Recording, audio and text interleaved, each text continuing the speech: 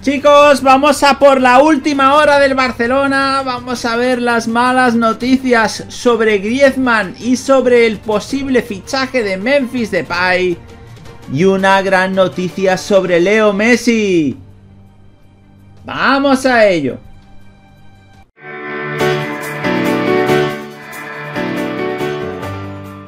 Hola de nuevo chicos, ¿cómo estáis? Bienvenidos de nuevo otro vídeo para el canal. Vamos a analizar la última hora del Fútbol Club Barcelona. Vamos con la tercera parte de las noticias del Barça de hoy, por tanto te animamos a que te quedes hasta el final del vídeo y a que nos dejes un buen like.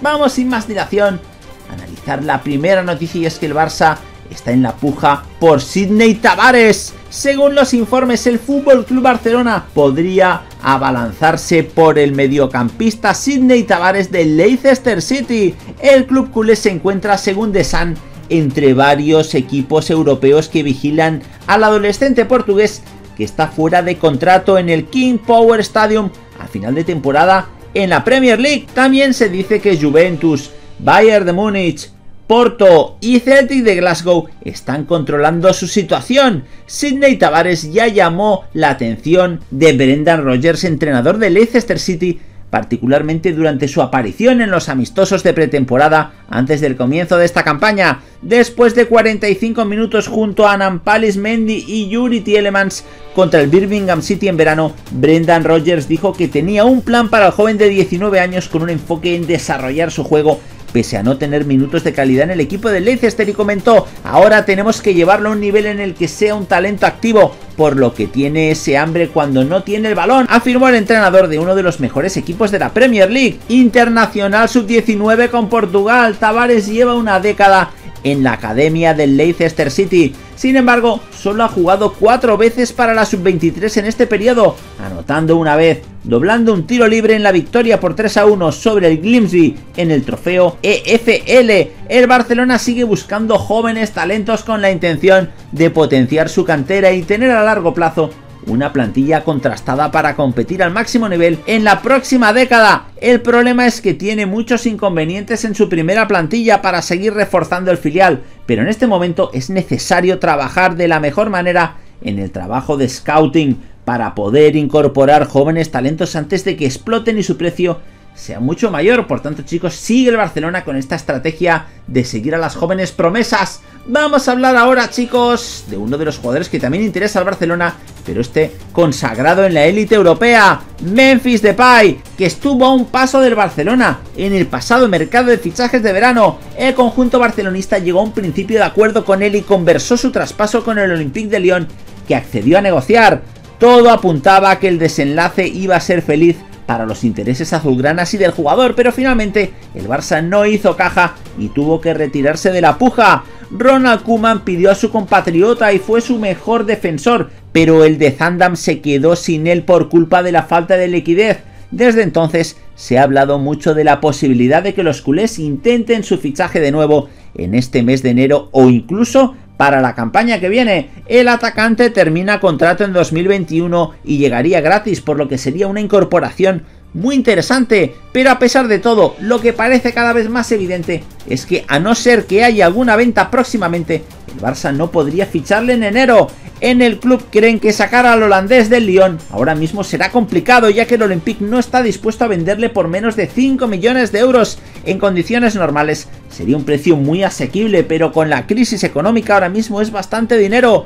Para colmo, en France Football han asegurado que en la Serie A hay tres clubes importantes que van a apretar por Depay. Se trata del Milán, la Juventus y el Inter de Milán, a los que se ha relacionado en varias ocasiones con el Internacional Orange. Los tres equipos buscan un delantero y se habrían fijado con atención en el neerlandés que saldría muy barato en este invierno y que podría llegar completamente gratis en verano. En el Barça siguen pensando que el jugador esperará, ya que habría dejado claro que su deseo es vestir de blaugrana. No obstante, el dinero de los tres conjuntos de Italia y la falta de recursos de los culés podrían jugar un papel decisivo.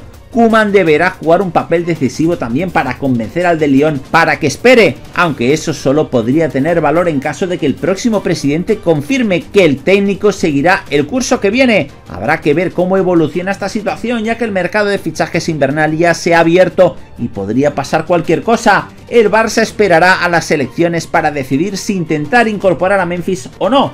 Pero mientras tanto, Milan, Juventus e Inter podrían adelantarse y hacer peligrar su fichaje. El tiempo dirá si el jugador espera a los barcelonistas o elige otro camino. Por tanto, chicos, se pone difícil el fichaje de Depay por el Barcelona. Vamos ahora con esta siguiente noticia. Vamos a ver en qué momento se encuentra Griezmann en el Fútbol Club Barcelona. Y es que el club culé está viviendo un curso realmente irregular después de una fase de grupos casi inmaculada en la Liga de Campeones la dolorosa derrota contra la Juventus propició que los culés avanzasen desde la segunda plaza a los octavos de final, una ronda del torneo conquistado por el Bayern de Múnich en Lisboa, en la que la entidad culé se cruzará con el PSG.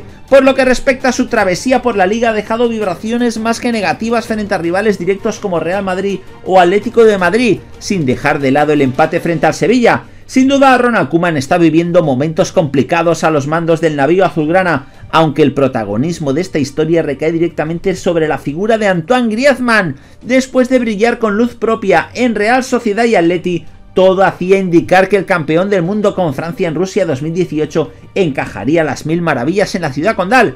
Sin embargo, al menos por ahora, ha sido incapaz de ofrecer su potencial bajo la tutela de Ernesto Valverde, Quique Setién o el propio Kuman. El mister neerlandés se pronunció sobre el galo tras la sufrida victoria del Barça en Huesca y dijo confío en cada jugador de nuestra plantilla, pero si optamos por tener tres mediocampistas, hay sitio para tres delanteros.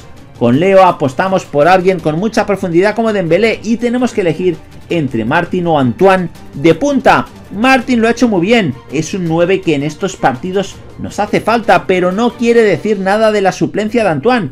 Tenemos muchos partidos y necesitamos de todos los jugadores. Tal y como recoge el diario Sport, el duelo en el Alcoraz significó la tercera suplencia del presente curso para Griezmann en Liga, dado que ya había partido desde el banquillo ante el Real Madrid y Real Valladolid. En cuanto a la Champions, conviene destacar que tampoco fue de la partida en las goleadas contra Ferenbaros y Dinamo de Kiev, tras un 2020 fatídico a raíz de la crisis sanitaria, el 7 Blaugrana hará lo indecible para darle la vuelta a la tortilla en 2021. Por tanto, chicos, empiezan a ser habituales las suplencias de Griezmann en el Barcelona. Recordemos con bajas por lesión importantes como las de Ansu Fati. Vamos a acabar hablando, chicos, de una gran noticia sobre Leo Messi. Y es que todo el mundo conoce al argentino, al mejor jugador del mundo y de la historia, al crack del Barça, al seis veces ganador del Balón de Oro. Todo el mundo conoce a la estrella que acapara portadas y minutos de radio y televisión, pero no todo el mundo conoce al Messi persona, al Messi humano, al Messi que con sus donaciones multimillonarias intenta ayudar a la gente más necesitada, especialmente a los niños, que son su gran debilidad.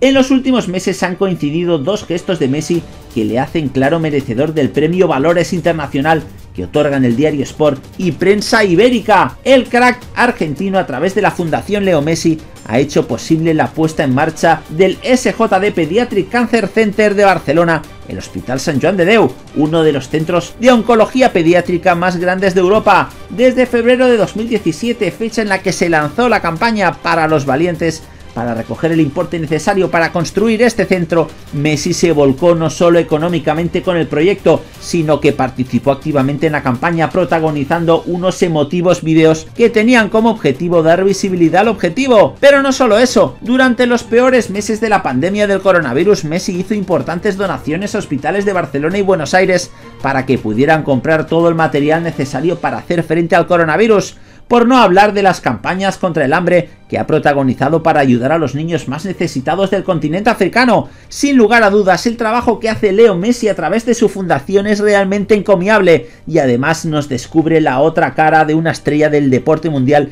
que solo acostumbra acaparar titulares por sus éxitos deportivos y por sus hazañas individuales y colectivas en los terrenos de juego. El presidente de la prensa ibérica Javier Moy y la vicepresidenta Arancha Sarasola fueron los encargados de entregar el premio Valores Internacional a Leo Messi en la ciudad deportiva del Barça. el crack Blaurana se mostró tremendamente feliz y emocionado por el galardón y comentó Estoy acostumbrado a recibir premios por mis victorias, por mis títulos o por mis récords como futbolista, por eso es tan especial este reconocimiento por mis valores como persona, aseguró Messi al recibir el trofeo. Comentó además, estoy muy contento de verdad por recibir este premio Valores Internacional otorgado por el diario Sport y Prensa Ibérica. Por tanto chicos, premio Valores para Leo Messi. Nos gustaría saber vuestra opinión al respecto y que por favor nos la dejéis en los comentarios justo debajo de este vídeo. Nada más por el momento, como siempre animaros a dejar un buen like al vídeo a suscribiros al canal si aún no lo habéis hecho y a darle a la campanita de notificaciones. ¡Hasta la próxima!